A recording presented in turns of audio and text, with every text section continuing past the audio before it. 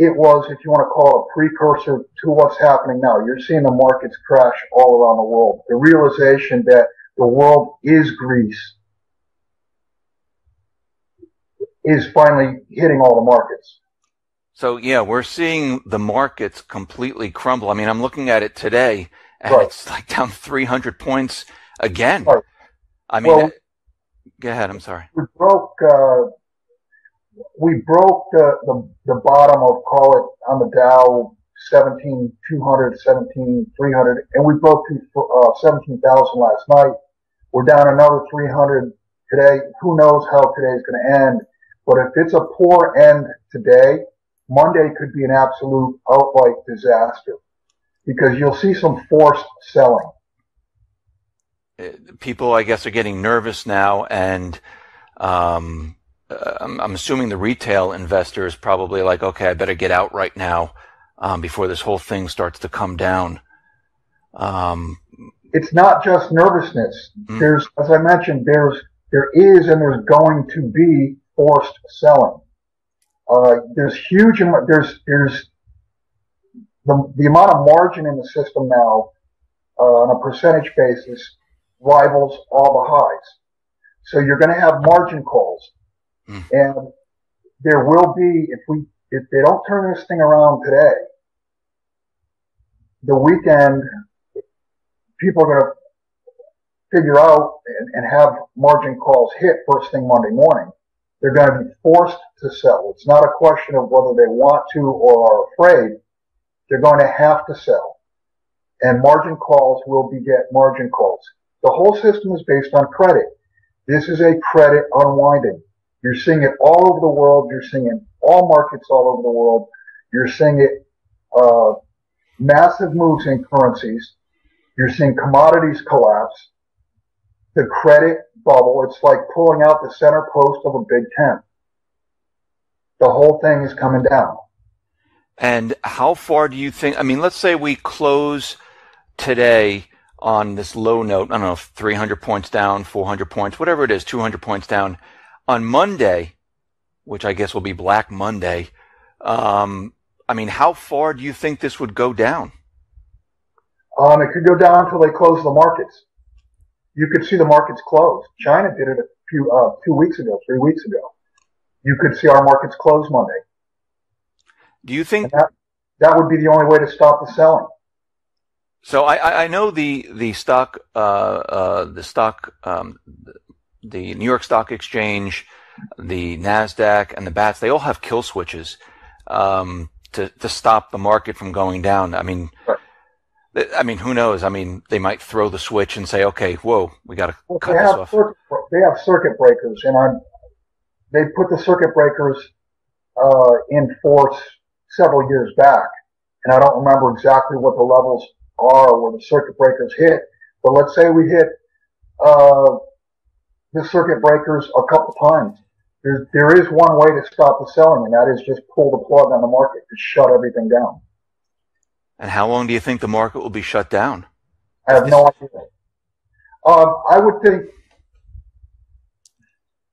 I would think that if we have something like that were to happen Monday, they'd try to reopen it Tuesday.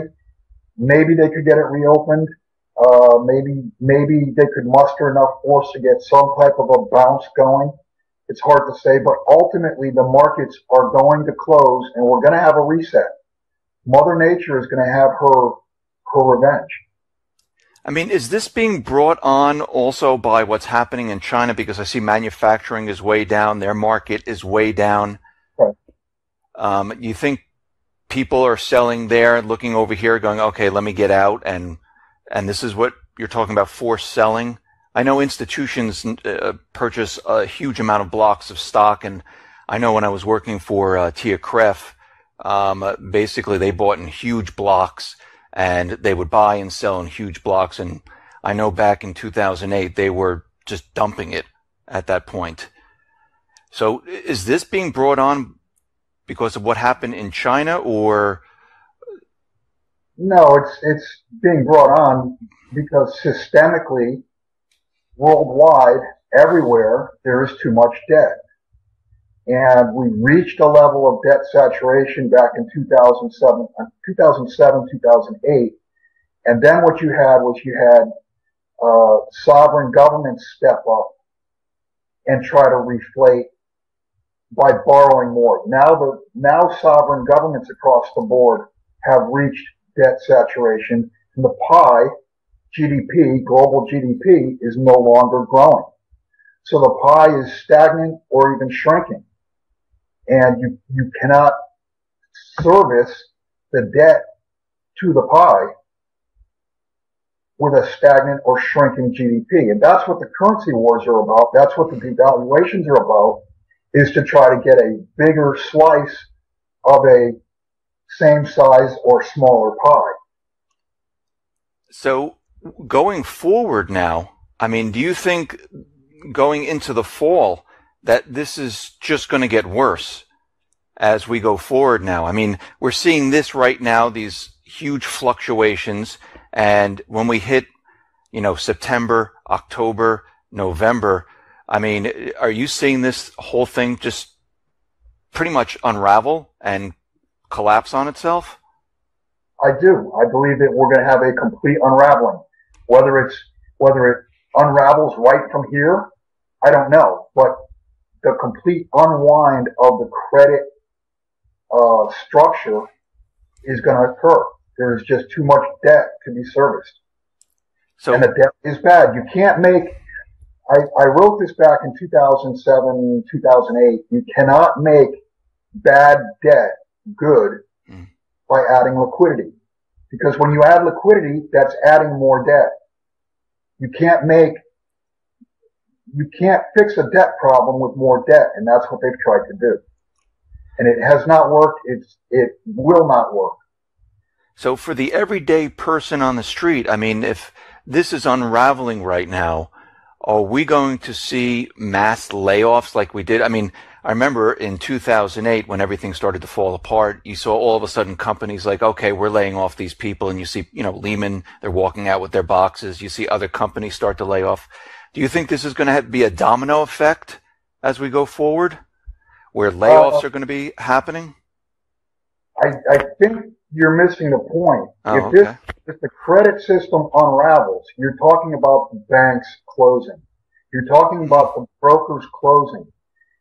When, when credit ceases, that means distribution is going to break down. That means products don't make it to Walmart's shelves. That means you could go to your job, but you're not going to get paid because they can't pay you because the bank is closed, because the credit system is shut down.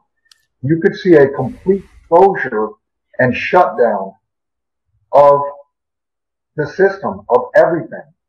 This is not, we're, this, we're not going into a quote recession where things get tough and mm-hmm. you tighten your belt. I'm talking about a complete closure of the system. They're going to have to reboot it. They're going to have to reset the system. And they're, and when things it's not, it's not the closure that's going to kill you. It's the reopening that'll kill you. And I say that because the reopening, people are going to all of a sudden think they were sitting on, you know, a million dollars worth of XYZ or whatever. And it may only have purchasing power of $20,000. Who knows? You're, you're looking at a reset of everything. You're looking at a reset of currencies, of all credit, of all equities, of real estate, et cetera, et cetera, down the line. And how long this is going to last, I don't know. Uh, but they're going to have to reboot the system, and it's going to have to be rebooted, I believe, with gold as a foundation for money, because all money is credit. No money is real in today's world. So you're talking about the collapse of the system. Basically, it's it's right. a complete disaster. Forget about layoffs. Forget about everything right. just shut down. Right. And th- the people that have their uh, stocks, their money in the bank, basically that will be devalued. And right, your currency. I think currencies across the board are going to be devalued, and it'll be currencies will be devalued against stuff, and first and foremost, it'll be devalued versus gold. So during this time period, I mean, what, I mean, okay, let's just take a normal everyday family who's, you know, living in a city or out in the country. I mean, what are they going to see? I mean, what are they going to see? Yes, they're going to hear on the news banks are closed down, but I mean, what else are they going to, what are they going to feel when this is occurring? Uh, the families in the cities, good luck because you're going to be in the middle of, of riots. And I say riots because store shelves are not going to be stocked. People are going to run out of food within two, three, four days. Nobody has food stocked up. And people out in the country, hopefully you've stocked up some rice and beans. And for how long, I don't know, but, uh, distribution will break down when the credit system comes down. And what do you think the government and the Fed's answer is going to be to this whole entire thing coming down?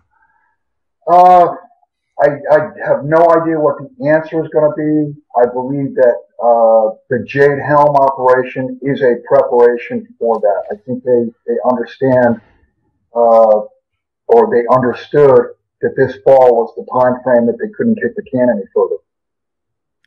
So do you, uh, I mean, we all understand that Jade Helm is going to the end of September or so, and this is happening right now.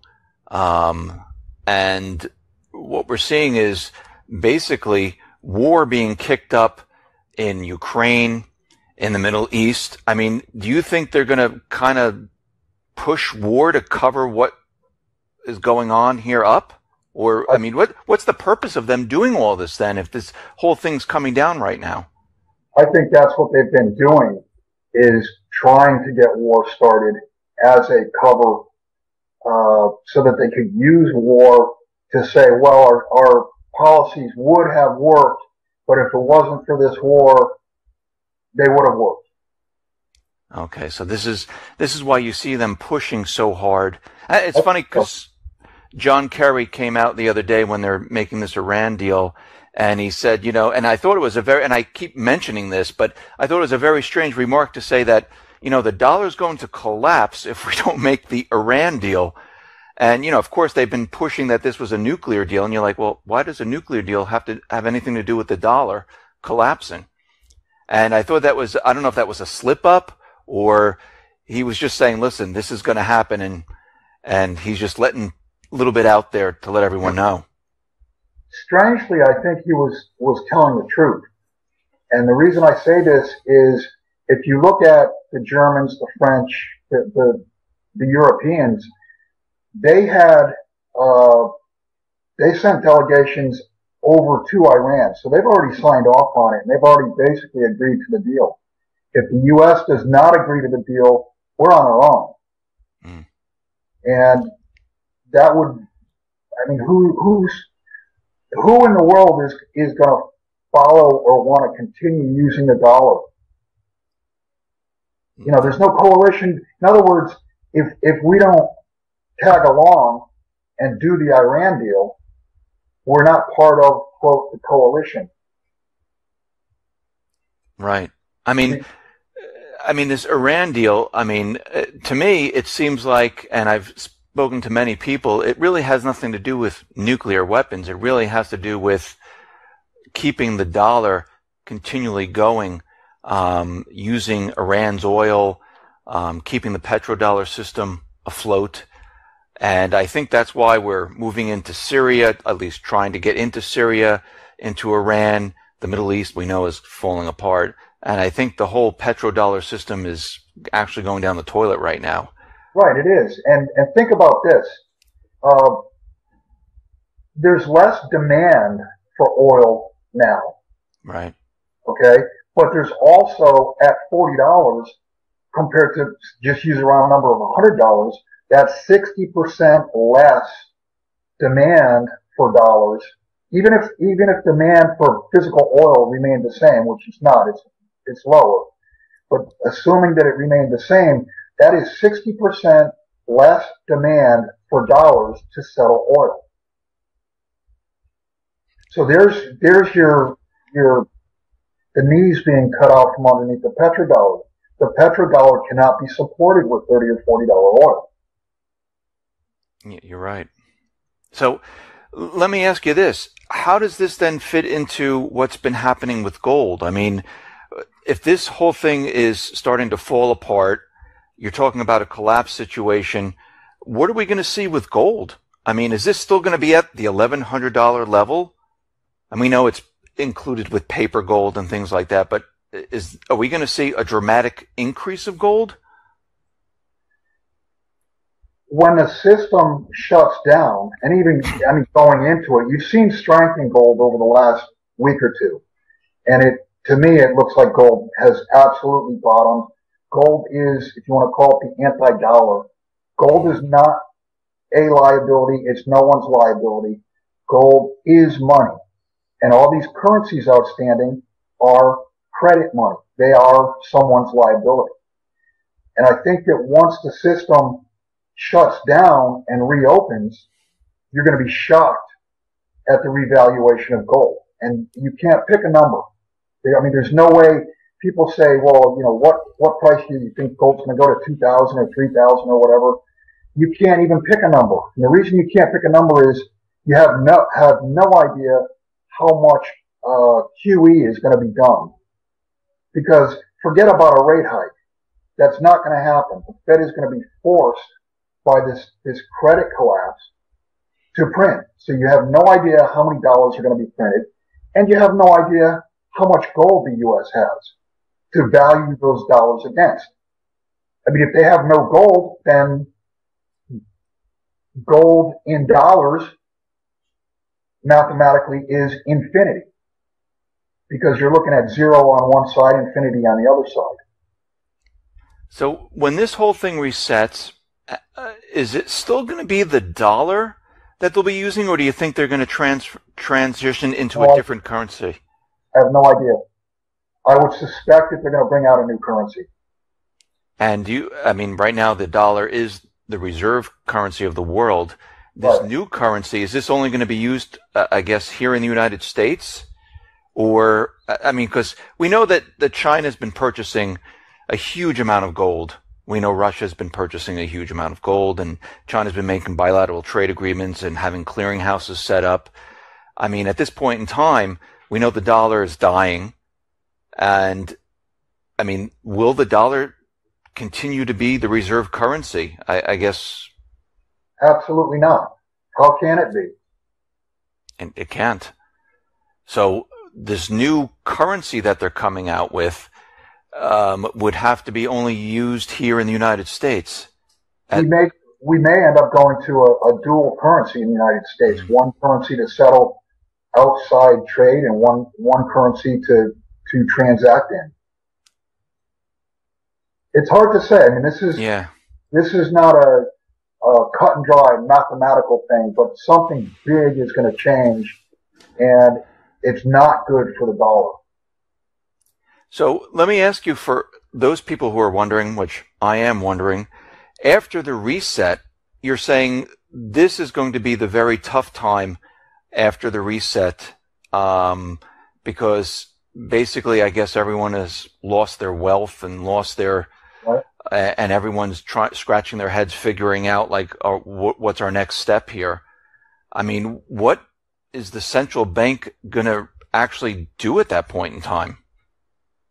um, it's unimportant.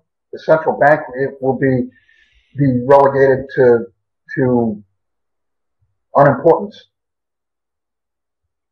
The the, the tough times mm-hmm. coming back after a reset, in the case of the U.S., is exacerbated by the fact that all of our manufacturing is gone. We don't manufacture anything anymore. No. And that's the problem. I mean, what uh, of what value to society is a paper pusher when society needs shoes or food or what have you? Uh, we don't make anything anymore. We do export some some agricultural products, so yeah, we will have we will have that. But our our superpower status as the manufacturer to the world has gone to China. And, and China will emerge once this is once this occurs, China will, will have a much easier time because they have new plant and equipment.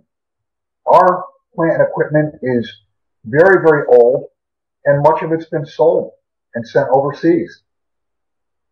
So with China becoming the world manufacturing empire and the U.S. Uh, having nothing and the, and of course the devaluation of the dollar and the loss of wealth, I mean, can China continue on even though the because U.S. is like one of the biggest purchasers of their goods? I mean, can t- China continue on? Well, it'll be a shock to China, no doubt about it. But China has been uh, trying to create the old Silk Road. They've been trying to do that for the last over a year now, mm-hmm. and they've been doing uh, swap and currency swap deals. They've been making trade deals all over the world. So what they're doing is they're preparing to replace, probably can't completely replace the demand from the U.S., but they're trying to replace that demand with new customers. So with everything that you're saying, it sounds like the U.S. is going to become like a, a third world country. That's not what I'm trying to say. That's what I'm saying. Oh, okay. I'm just making sure here, because oh, I mean, to me, everything that you're talking about, I'm like, okay, it, it, it, I'm getting red flags, and I'm saying, okay, third world country. Yeah, and, that's banana republic. I mean, we've we've we've done so many really dumb decisions and I've said this for a while now, I, I cannot believe that the decisions that were made were mistakes. It's almost as if we were purposely being driven into a ditch. Because no one could be this stupid. So everything they talked about in 2008 when they were asking for the bailouts about riots, people on the streets, we're going to actually see it this time. This time. So this yep. time around, and and and basically everyone really needs to be prepared um, for what is coming. If you haven't really started, I mean, you better start getting water, food, and supplies just to get through this time period um, because it, it doesn't sound good at all, and and we're starting to see the the beginnings of it. Um, Monday morning.